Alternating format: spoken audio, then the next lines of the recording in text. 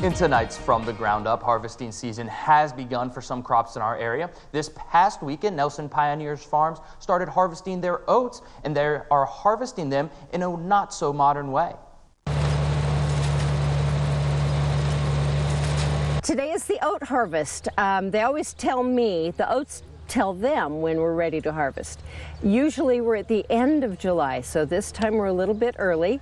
Um, oats have to be harvested when they're just as they get ripe so they can continue to dry and be ready for our threshing. What makes Nelson Pioneer Farms unique from their modern day counterpart is that they still use equipment that our great grandfathers used. The goal of using the older tractors is to remind people just how hard farmers had to work in the past. You learn so much more by doing than you do by watching or hearing about it. I mean, if, if I told you this funny thing with sticks was going to go down the street and cut stalks off like an old-fashioned lawnmower, you'd look at me like I was crazy.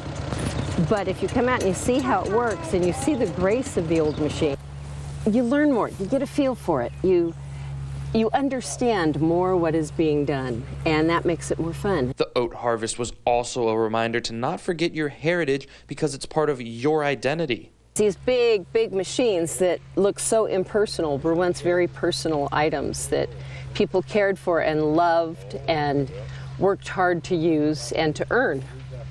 They were not cheap machines at the time. There was a lot of sacrifice that it went into it. Compare that to your own life. What do you sacrifice today? What do you experience today? How does that all work into your life now? It's, it's like genealogy in real life.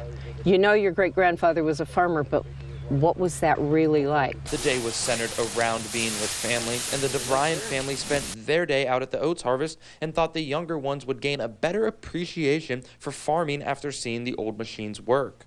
They can understand how far technology comes in farming and how how hard the work was, you know, decades ago. There was one big lesson to be taken away from the day, not just about farming, but about life in general understanding who you are because of what went before you. The Nelson Pioneer Farm holds multiple events throughout the year to pay homage to farm life in the past.